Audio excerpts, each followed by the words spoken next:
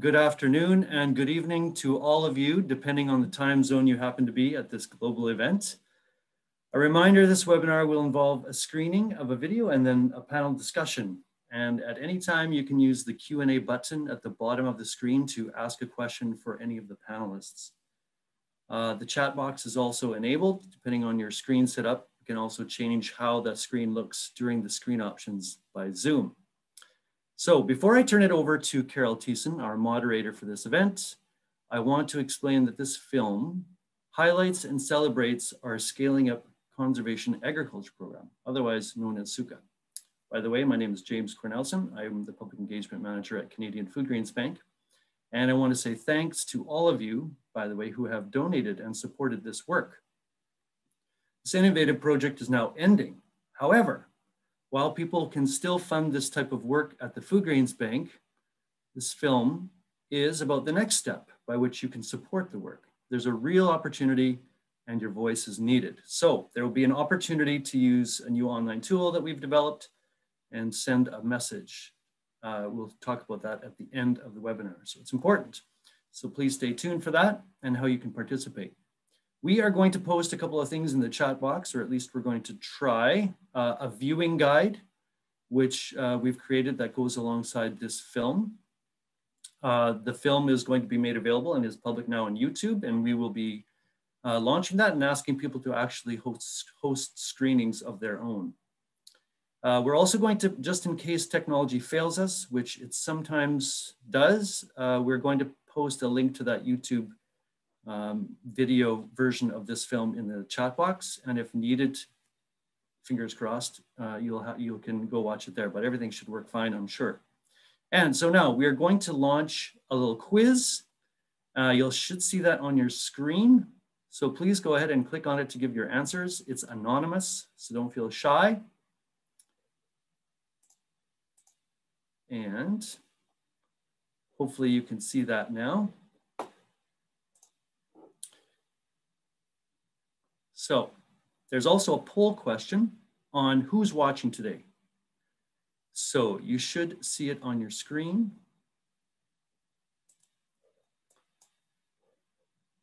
And uh, a couple of relate questions that are related to our content today. So I'm going to introduce, while you're doing that, I'm going to introduce Carol Thiessen as moderator.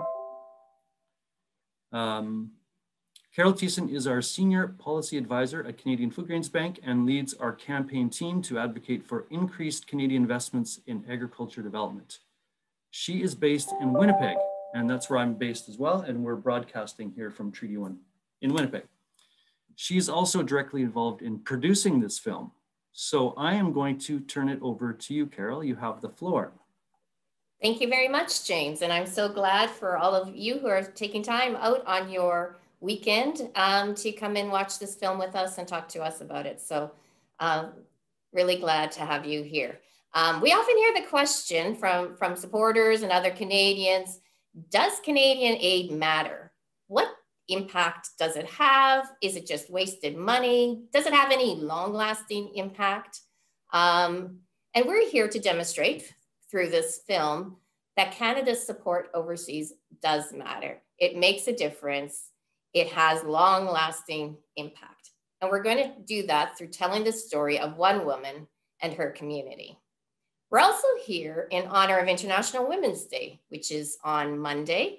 Um, and part of the reason we do that is to highlight the incredible contribution that women bring to ending global hunger in their homes and in their communities. Women face lots of barriers globally, but they are also agents of change and they are transforming their lives with just a little outside support.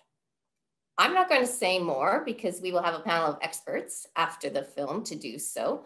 Um, but for now, let me just introduce them and then we'll watch our short film. So Florence Nduku is the monitoring and evaluation coordination coordinator of the Scaling Up Conservation Agriculture Program with us at the Canadian Foodgrains Bank. And she is based in Nairobi, Kenya. Uh, so welcome, Florence.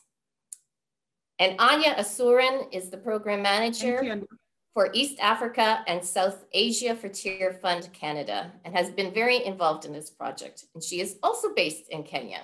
So Uh, thank you also, Anya, for joining us. And if you want longer bios, we've put the, those in the chat box as well. Um, so the film is about seven minutes long. We're going to watch it now, and then we'll come back and have a panel discussion and opportunities for you to participate in that as well. So James, I'll let you hit roll.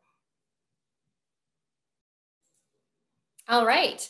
That was a seven minute visit to Asnakech Zima's farm. I hope that the technology worked for everybody and that you were able to see it.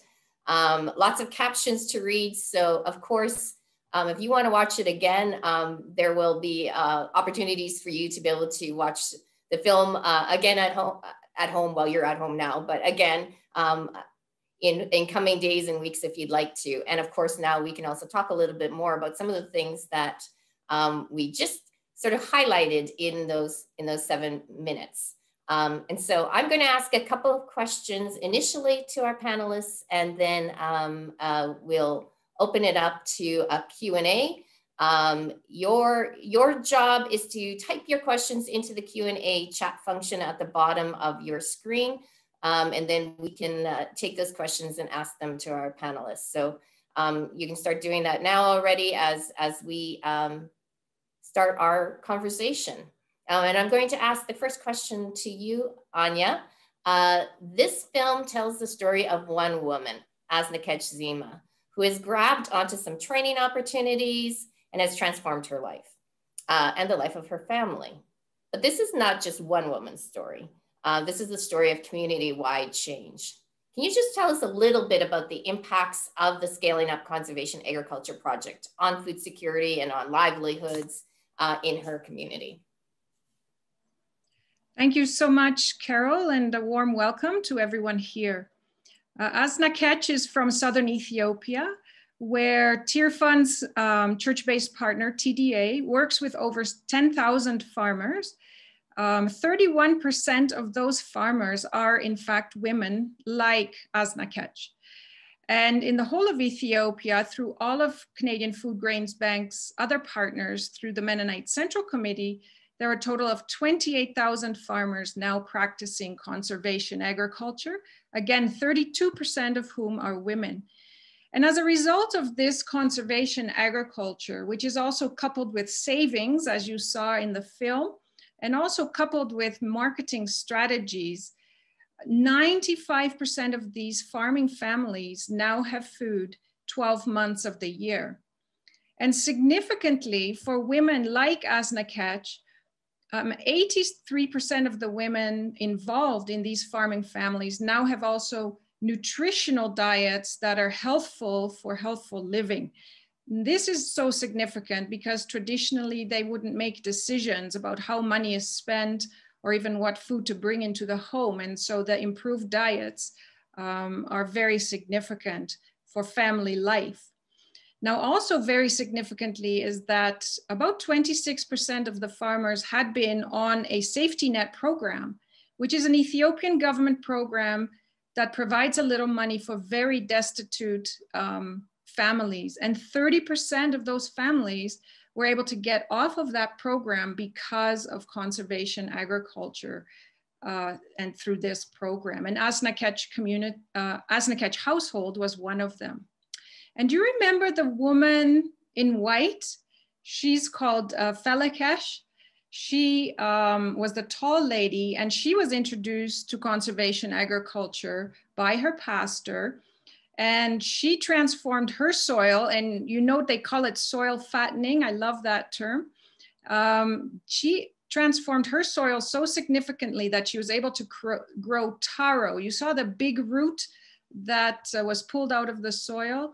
And as a result of that um, she is now able to take her two daughters to college and pay for that because taro sells for 10 times the amount that um, corn does and uh, the other thing she did, like many other farmers, is she she um, inspired another hundred farmers to also take up conservation agriculture.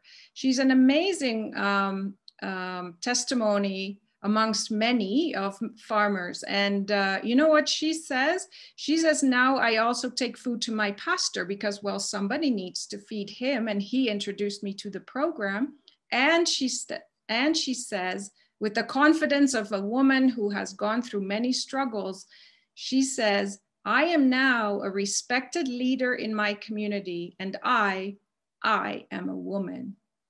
Thank you. Thank you, Anya. That's uh, really exciting to hear. Uh, I want to ask a sort of similar question to you, Florence. Um, so Florence, one of Florence's role is really to, to, to count and measure change. Um, and, and so the impacts that we've seen in this community, as Asnakech notes, go beyond increased household food security. And I think Anya was just starting to touch on it. But as you see her in the film, she talks about this change in her relationship with her, her husband, who did not trust her and her, you know, going into this program initially. Um, and, and, and she she speaks to it and he speaks to the change in their relationship. Can you tell us, Florence, a little bit more about the change in gender equality in women's empowerment in Asnakech's community, but also across this program? Thank you, Carol. And it's good to be here. Yes, I will want to say that I would identify with Asnakech, not just for Ethiopia, but also for East Africa, because this program was, was being done in Kenya, Ethiopia, and Tanzania as well. And most of the women, uh, as we started the program, um, I'll, I'll, be confident to say from the baseline, we had only less than 18 uh, percent of women that had some knowledge on farming. And Asnekach represents the uh, more than 50% of the women that we had by the end of the program that were trained. So this program was able to reach out to more women through capacity building. Initially, training was being uh, offered to men because, of course, men being the uh, um, the owners of the homes, they were more available to attend trainings.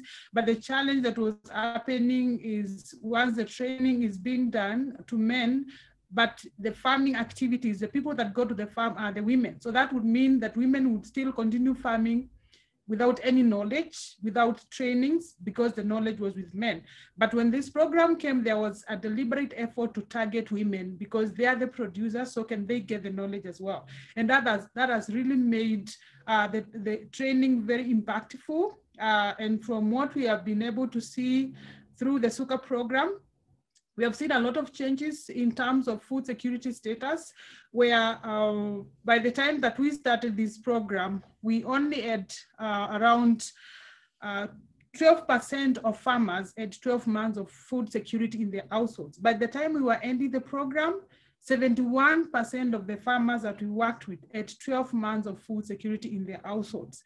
Uh, when we started the program, 61% of the farmers were using coping strategies, and more so the women were using uh, more of coping strategies. They would borrow food, they would buy food on credit, they would skip days without food or skip a meal.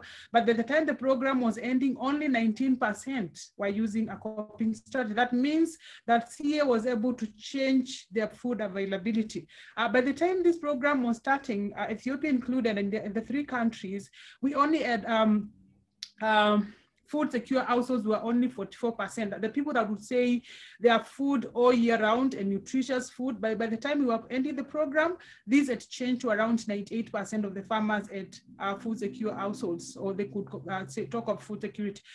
And then, of course, on issues of women uh, making decisions. When the program was starting, it was interesting because men were the ones that were making decisions about the households, what to plant, where to plant, how to use the money. So almost just like almost 2% of the men consulted their wives. But by the time we were ending the program, interestingly, 85% of men and women confirmed that there's a lot of joint conversations. And I think you could see why Asnakech and the husband agreed to help the wife. And that has, that has been a very common practice in the program where the women would start because of course women want new ideas because it affects, lack of food affects households more and more women are more affected.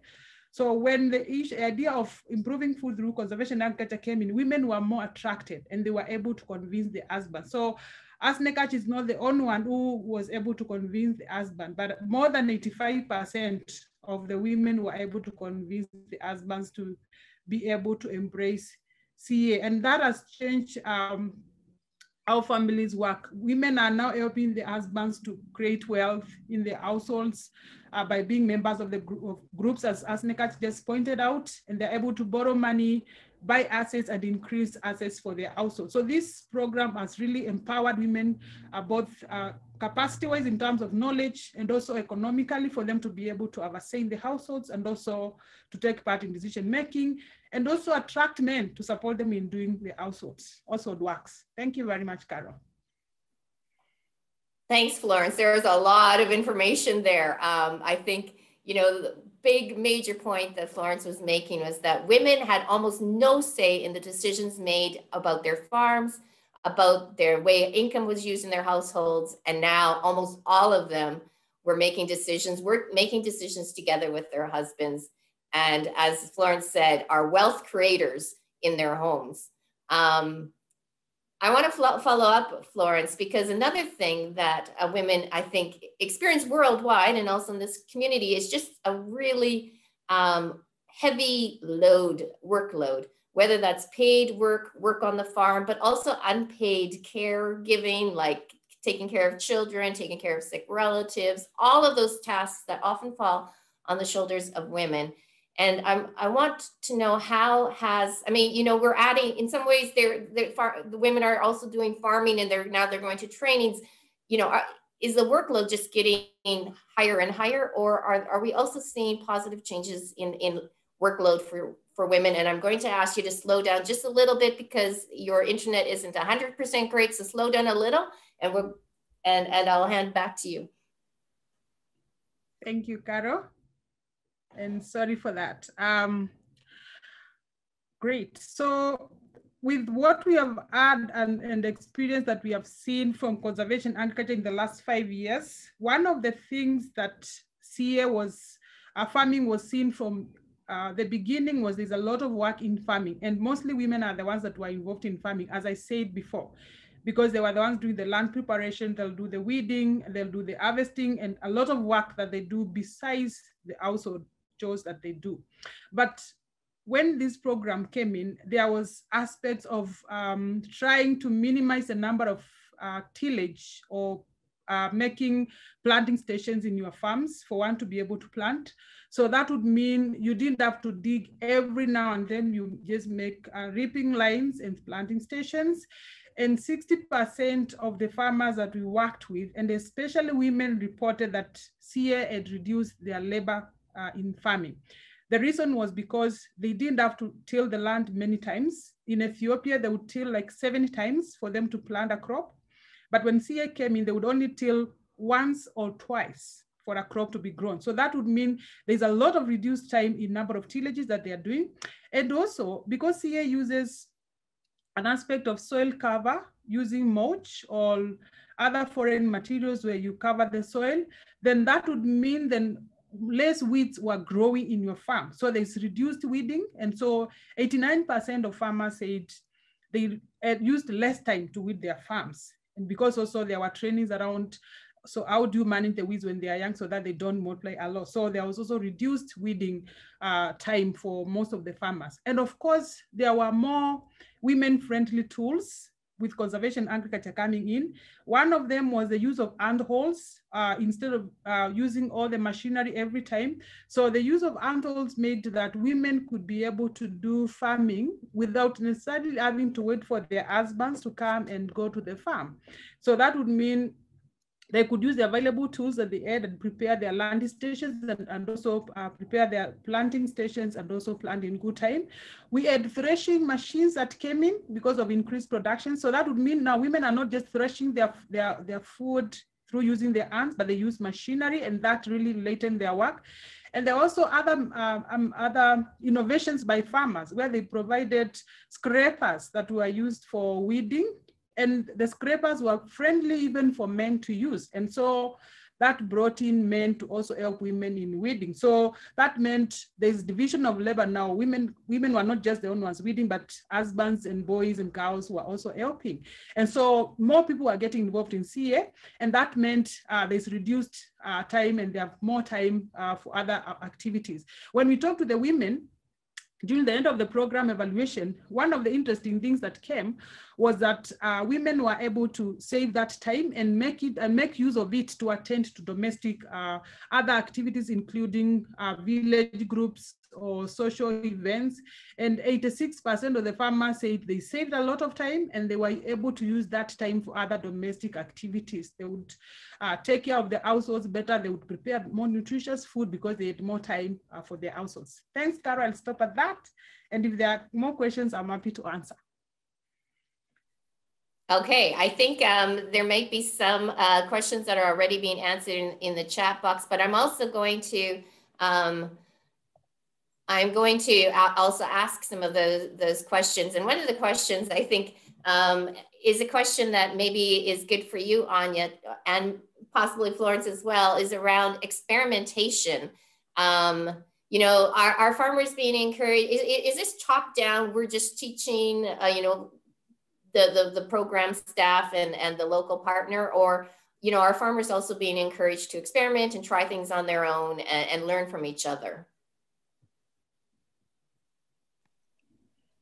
Thank you, Carol, and thank you, Norman, for the question. Um, farmers are definitely encouraged to experiment. And so one of the models uh, that we use is what we call farmer field schools. And often what happens is uh, the farmers in a particular locale will choose an area. It could be, say, a piece of land next to a church uh, or a farmer's piece of land uh, that, a, that the community is comfortable with, where they begin to experiment with all kinds of uh, conservation agriculture techniques. But it isn't just left alone at um, uh, a demonstration plot, but also the farmers then experiment in their, in their homes. And so at the very beginning of the program, many farmers would um, experiment with just a 20 by 20 meter plot. But many of these farmers have expanded that to uh, an acre and beyond. Um, in, uh, in, in southern Ethiopia, farmers have about an average of one to 1.2 hectares. So they continue to expand based on, um, on what they were seeing on their experimentation plots. Interestingly, what some farmers do, like um, uh, Fela Kesha, whom you saw later in the video, she keeps deliberately a piece of conventional farming on her land just so that she can show other farmers uh, the comparison of the quote unquote old way of farming and conservation agriculture farming, which you know is now expanding. All right, and I, I'm going to go right back to you, Anya, with a question that I think you already answered to some degree about about Felakesh and how how how how many people she sort of brought into the to conservation farming. But I will, you know, it, it, it to what degree are farmers sharing their ideas and technologies with others in the in, in their communities, and and so how how much wider might this actually be spreading than just the people who are part of the project initially? Well, it's amazing how how people have shared. Um, in, in southern Ethiopia alone, 803 farmers um, um, became conservation agriculture farmers just because people reached out and taught their neighbors. Uh, Felakesh is on the very strong end, you know, training 100, and uh, you'll have some farmers who will reach out to three or four neighbors. But invariably, most farmers um, will reach out and um, um, talk to their neighbors because it's just so inspiring the kind of results that they're seeing, especially after the three year mark of conservation agriculture.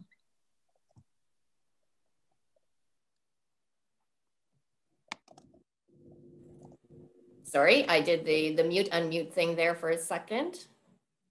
Um, we have a few more questions coming in here. Um, this is a question I think, uh, you know, I'll ask you, Florence. In, in the video, the women were talking about their, their self-help groups and how they had been borrowing at really extortionate interest rates in the past, and now they're able to use this, this, this self-help group to do so. Can you talk a little bit about what the self-help group does and, uh, and, and how that has benefited the women in the community? Thank you, Caro. So a self-help group, I'll put it in the uh, in the African context, also in the which is also the Ethiopian context. So a self-help group is um, say a number of smallholder farmers, especially neighbors, people from within the same locality, within the same vicinity, with, with common problems, common um, practices that they do together that come together so that they can be able to assist each other. So most of the self-help groups are registered uh, in their countries or registered locally, or some are just uh, um, unregistered, just like mutual understanding. And basically people would come together to help each other in farming activities, Mostly uh, people would use the self-help groups to conduct trainings because it would be easier for you to reach out to more people in a, an organized setup. So partners or organizations would use such setups to offer extension services to the farmers. The farmers would also use those forums to maybe to respond to their needs. Maybe their financial issues, so they support one another to contribute small amounts of money on a monthly basis or on need basis to support each other to undertake their programs. And self-help groups are very common practice in Africa actually, because they they it's like if there's a power of unity. People believe in when we are together, we can do a lot. Not when I'm alone, I can't do much, but together we can do a lot. And that has really been a great movement in, in Africa to have people coming together in several groups to do great things uh, together, including the, the, the, formation of saving groups, the village saving groups is actually born from the self-help groups. So now people are able now to save money together.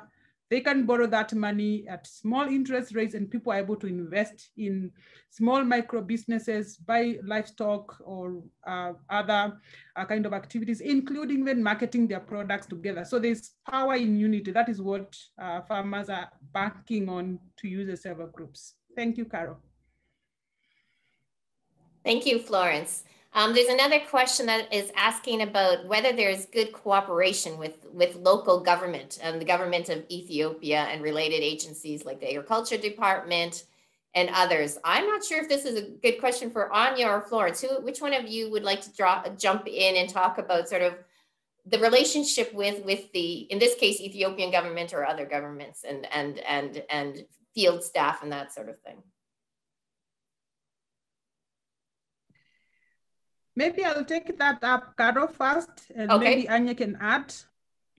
Great. So one of the things that happened in Ethiopia is uh, Ethiopia actually have, has a lot of support uh, because um, Ethiopia uses an approach where farmers are used to provide services to the other farmers. So they use one farmer to five farmer model. So one farmer is recognized by the government provided with training, and then they provide the training to the other farmers. So it's one model farmer to five farmers. So one farmer models five farmers. And so the government of Ethiopia has been very keen to support those initiatives. And when conservation agriculture came in, it was one of the other, one another approach that also used the same model that the Ethiopian government was using. And so the Ethiopian government really took up um, this extension model and also the conservation agriculture practice as a, as a very important tool that would help farmers to fight the food insecurity status in Ethiopia.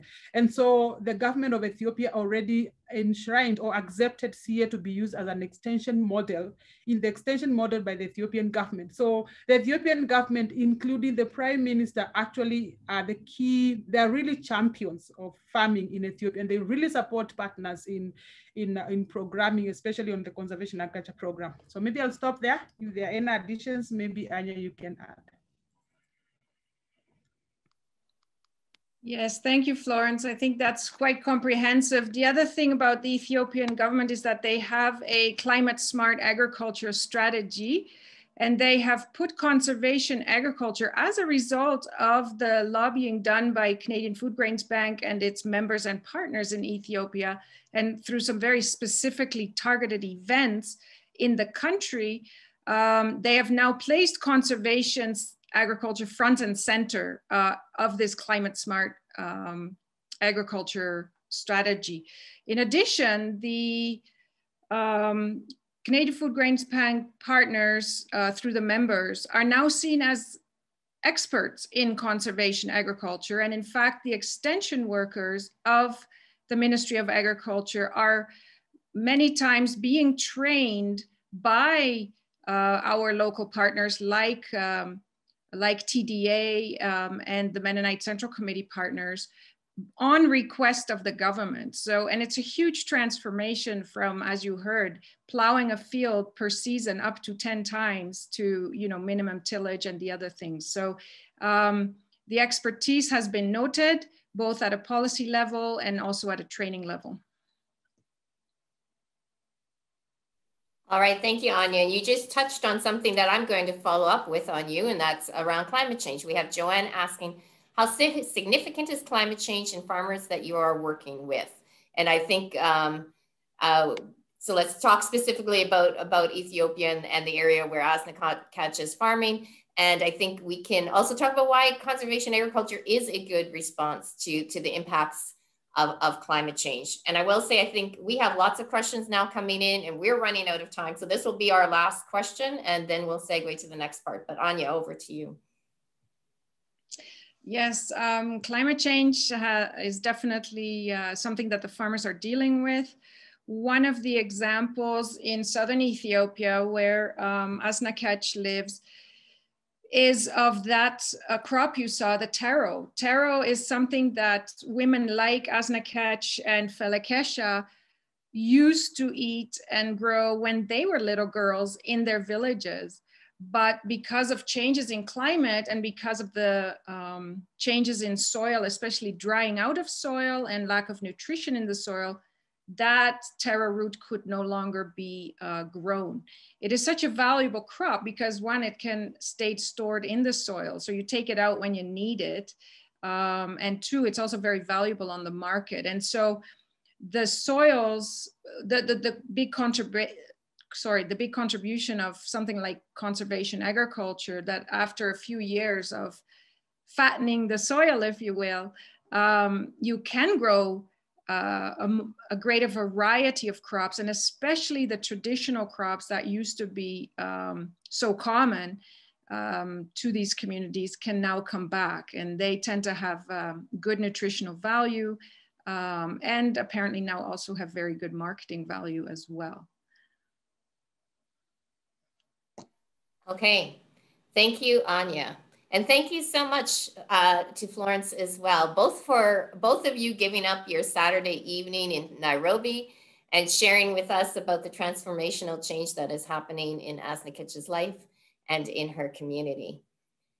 As we said at the beginning, this isn't just a story about a one woman farmer or one community or even one country. This is also the story of the important role the Canadian government does play, play in supporting change.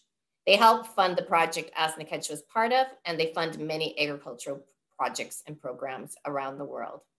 Uh, at the beginning, James introduced me as, as a pub public policy advisor, and you may have wondered what that means. Um, my role is to try to encourage and advocate to the Canadian government to do more to end global hunger.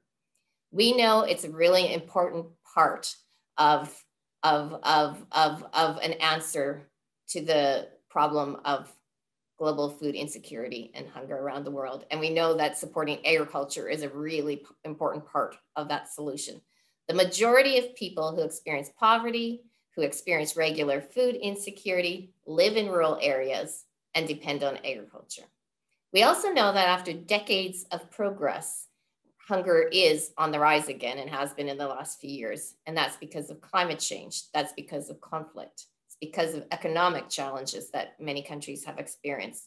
And now because of the pandemic and responses to the pandemic in many countries. Yet we're not seeing Canada's aid for agriculture rising in the need that in the way that is needed. A graph on the viewing guide that I thought you were going to have, but you will have to receive later, um, will shows you sort of the the current trajectories of hunger rising, agricultural support declining from the Canadian governments. Although we do hope that some of that is changing um, because of, of, of, activities to try to respond to, to the pandemic. But um, we need to see much more support. So after seeing this film and hearing our panelists, and you, if you're wondering what more you can do, um, one of the things that you can do is to use your voices to support an increase in aid for agriculture. And so I'm going to hand over to James now, who will tell you a little bit more about how you can do this.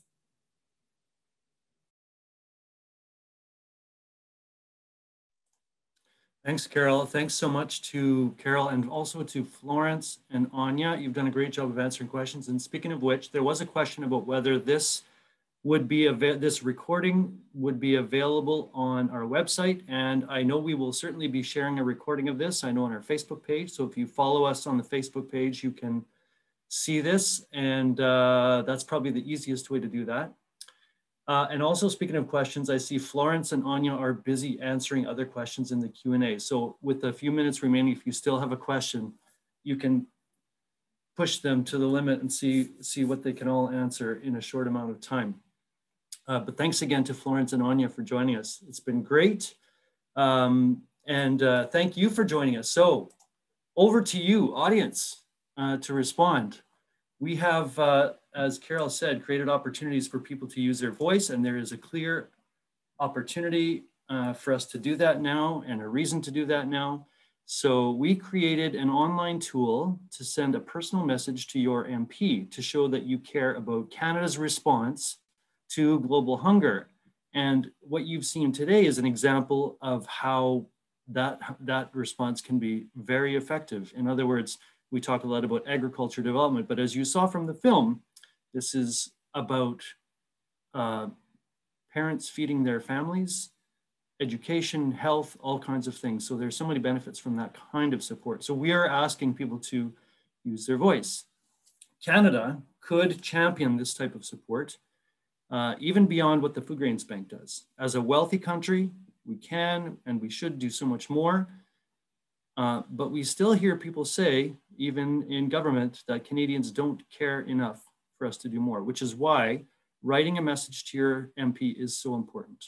So we're going to put a link into the chat box.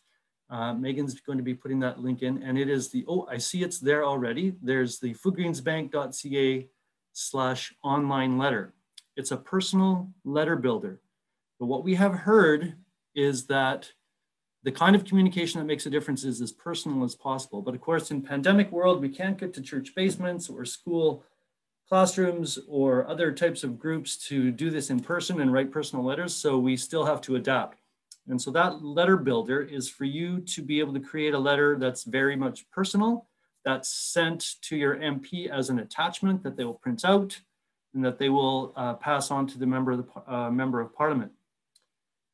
This uh, hopefully it will it will also be copied and sent to the Minister of International Development. But it's so important for your MP to actually voice that message either to their party leader or in their caucus or their colleagues. Uh, so please uh, do that. And also, as we mentioned earlier, if you're interested in sharing this with um, friends and neighbors or your community in some way, um, get in touch with us. So we are going to um, add a poll. We're going to launch a poll uh, that actually asks whether you might be interested in doing and hosting a screening of your own with your church or your community or something like that, with a few other questions there. So again, we want to say thank you for your support and uh, thank you for your voice, uh, for using those tools. And uh, yeah, don't forget to fill that quiz out. And thank you again so much for joining us on this Saturday. Um, we uh, will follow up with any of you who decide you want to do something more like a screening or, or hosting a letter writing of your own. So thanks again, everyone, and we will see you again soon.